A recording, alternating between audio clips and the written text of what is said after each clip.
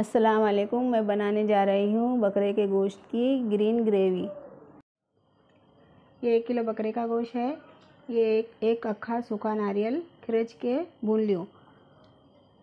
और ढाई ढाई सौ ग्राम दही और दो two onion fry onion two fry onion और चार टमाटे और टू ऑनियन और टू अदरक लहसुन पेस्ट। स्पून अदरक लहसुन पेस्ट। ये एक बंच धनिया और एक बंच एक बंच पुदीना और टू टीस्पून खसखस दस से बारह बादाम, दस से बारह काजू और छः सात हरी मिर्चें और आधा नींबू ये पीसने के लिए।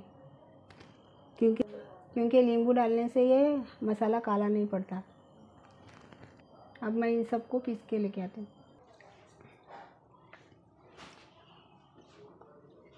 ये तीन दालचीनी और हरी इलायची दस से बारह, दो बड़ी इलायची, थोड़ा सा जायफल, जावित्री थोड़ी और दो स्टार फूल और दस दस से बारह लौंग और दस से बारह काली मिरी।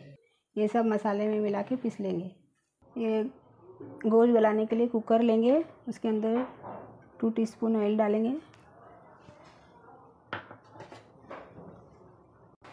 ये वही तेल है जो ऑनियन फ्राई किए थे हमें। ये कांदा डाल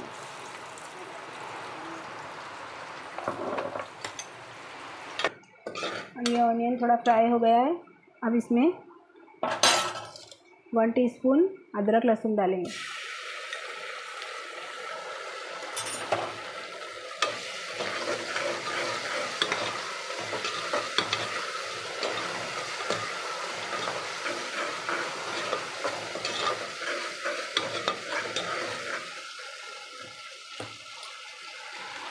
और इसमें मटन ऐड करेंगे।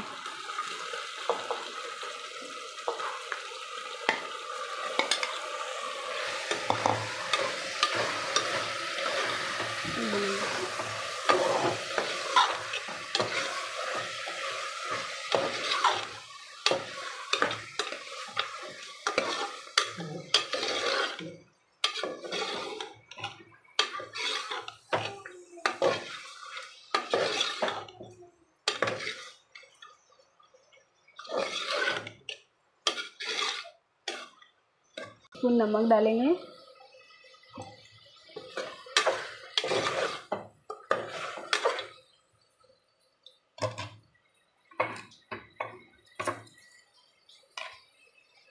जिसमें हल्दी।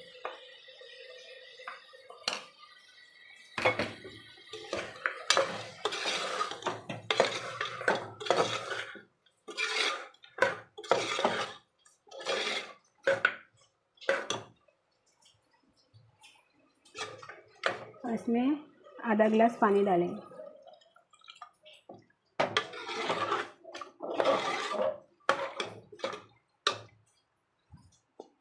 आधा गिलास पानी डालकर इसको गलने के लिए रख देंगे, कुकर बंद करके। तेल डालेंगे टू टेबल स्पून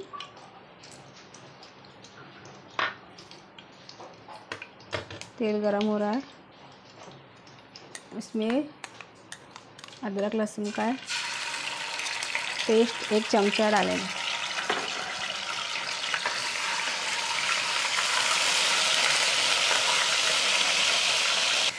फिर इसमें हरा मसाला जो पीसा था वो डालेंगे।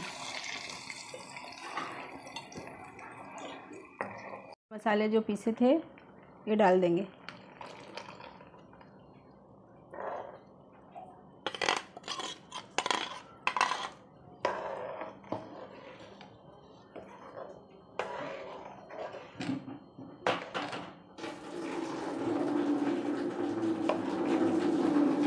अब ये ग्रेवी में ये गोश्त गल गया है।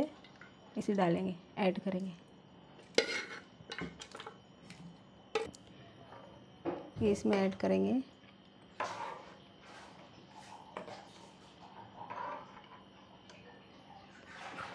पाउडर मसाले डालेंगे। दो चम्मच धनिया पाउडर दो चम्मच ज़ीरा पाउडर वन टीस्पून काली मिरी वन टीस्पून गरम मसाला।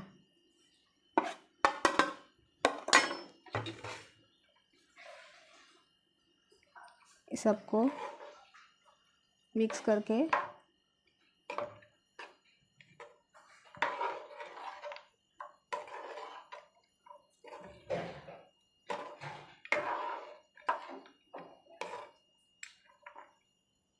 अच्छे से पकने के लिए छोड़ेंगे एक पंद्रह मिनट। ढक के पकाएँगे। तब देखेंगे पंद्रह मिनट हो चुके हैं। देखो, ये पक गया है। इसके ऊपर तेल छूट रहा है। पक के तेल आ गया। अब इसके अंदर हम दो हरी मिर्ची डालेंगे। और ये शाजीरा, दालचीनी और हरी इलायची का पाउडर है। ये डालेंगे इस। इसको मिक्स करेंगे।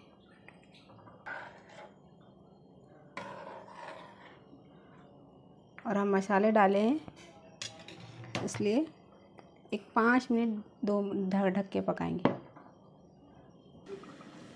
ठीक है, अभी देखते हैं, हो गया।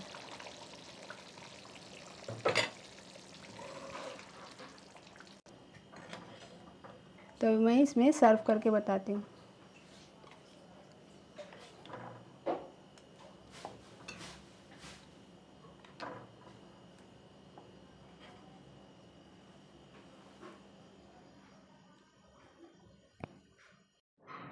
ये बकरे की मटन की ग्रीन ग्रेवी बनकर तैयार हो गई है।